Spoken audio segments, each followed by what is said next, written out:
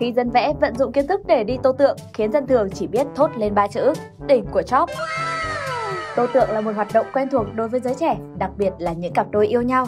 Người ta vẫn hay nói nếu không có gì làm, không biết hẹn hò ở đâu thì đi tô tượng cho giết thời gian. Thế nhưng không phải ai cũng có thể tô tượng một cách dễ dàng và cho ra thành phẩm đẹp. 7749 bức tượng sau khi được tô xong khiến dân tình cười chảy cả nước mắt.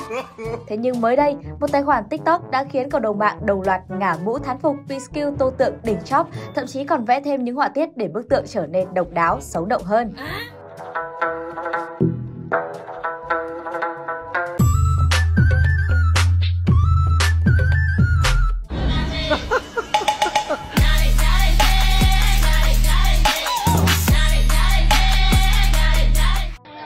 Chưa?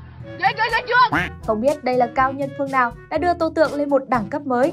Từng chi tiết, đường nét rất rõ ràng mà không hề bị lộ màu hay tràn viền. Đích thị người này có 10 hoa tay rồi, ai xem xong cũng phải trầm trồ khen ngợi. Đứng dậy đi về nhà liền, chứ chơi như thế này thì ai chơi lại. Nghệ cả củ là đây. Tưởng đâu là trò chơi để giải trí mà sao nó áp lực quá. Ôi trời ơi! Chúng ta đành phải ngậm ngùi công nhận sự thật thôi. Tượng không phế, tôi phế.